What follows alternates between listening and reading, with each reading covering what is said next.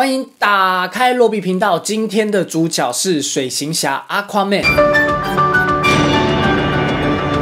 这是 DCEU 的最新电影，由正义联盟当中已经出现过的水行侠 Jason Momoa 以及 Amber Heard 主演。配角则有 Nicole Kidman、Patrick Wilson、d o o f l o n g e r、William Dafoe，并且由华裔大导演温子仁执导。这是水行侠的第一部电影，讲述 Arthur Curry 这个混血王子在梅拉公主的协助之下，摆脱自己的阴影，力抗自己的兄弟，登上亚特兰提斯这个水中帝国王座的故事。这部电影看得出来投入了非常多的资金还有心力在电脑特效的上面，呈现出来非常绚丽夺目的水中世界。温子仁导演也再度证明他是拍商业片的好手，把这个原本没有什么人期待的水行侠拍出一部让大多数人都可以满意的一部商业作品。水行侠这部电影从头到尾的优点就是在无脑，它一点也不像黑豹要承载那么多沉重的意义还有内涵，它都是很简单的故事还有人物关系。简单的来说，就是一个王者回归的故事，以及维护和平、世界一家的主题。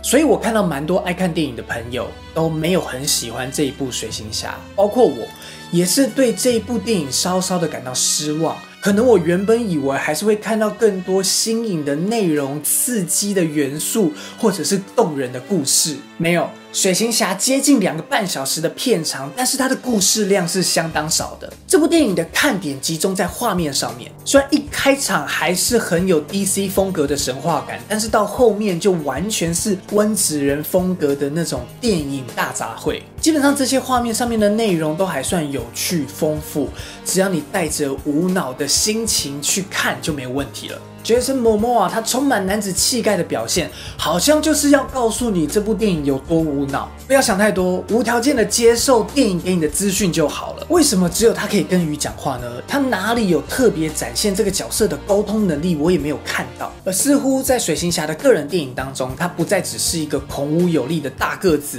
一个硬汉而已。跟这个角色在正义联盟当中的形象相比，比较风趣，比较有温度，不再是那一个不小心做到真言套索才讲出。真心话来的那个野蛮人，主线的故事是阿瑟·克瑞的成长之旅，是他登上王座之前的历练，而决定所有剧情的重要关键，则是在这个母亲的故事线上面。整部电影当中最有故事，也是我希望看到更多戏份的这个人物，就是 niko Kidman 所饰演这个亚特兰提斯女王。如果这部电影有另外一种拍法，有另外一种切入的观点，我想就是从这个亚特兰提斯女王逃婚开始。他离开了他的家乡，来到陆地上，遇上了主角的父亲，然后又为了这对父子的安全牺牲自己，最后还受到惩罚。我觉得这个角色才是这部电影真正的重心。当然，也会有很多人，尤其是男性观众，认为这部电影真正的主角是那个永远湿淋淋的女主角梅拉。她是整部电影的大亮点之外，她还身负着要带领主角的一个重任，说服他去到他该去的地方，承担起他应该要负起的责任。跟神力女超人不同的，展现了另外一种女性的力量，帮助主角找回到他那一根神器。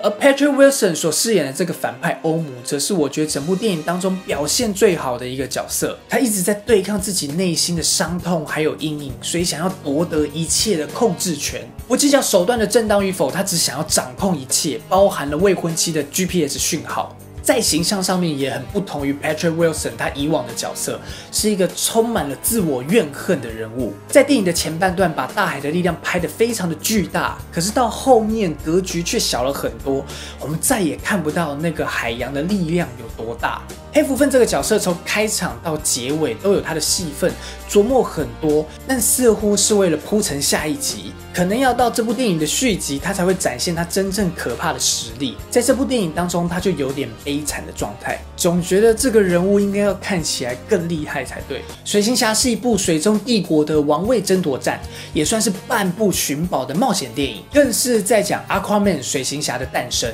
DC 漫画的电影在最近几部真的是靠女性的力量。女性的角色撑起场面。在水行侠你会看到很棒的女性角色，你会发现它真的是一部在讲水的力量的电影，有特效场面，有迅速的转场，是一部无脑故事，有一点无聊的超级英雄电影，适合给想要轻松爽快、娱乐性高、CP 值也高，像是《玩命关头》系列电影那样子的娱乐性观众。特别推荐这部电影给想要看《海底总动员》真人版的你。水行侠这部电影我给的评价是。以上这就是今天的影片了，希望你喜欢今天的内容，请帮我按赞，还有把它分享出去，还有找找你的订阅钮，订阅我的频道。如果你想要在第一时间知道我上传影片消息，别忘了在订阅之后再按一下那个小铃铛。如果你有任何的意见或者想法，欢迎在下面留言让我知道。这是罗比频道，祝你今天可以看到一部精彩的电影，我们下次影片见了，拜拜。